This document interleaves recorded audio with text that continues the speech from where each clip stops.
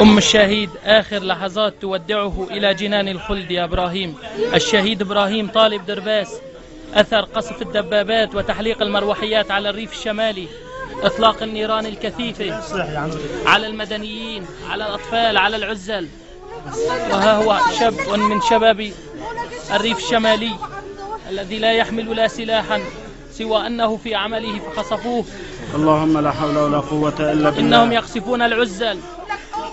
إنهم يقصفون العزل.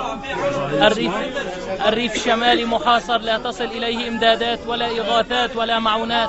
الشهيد إبراهيم طالب درباس. اللهم لا حول ولا قوة إلا بالله.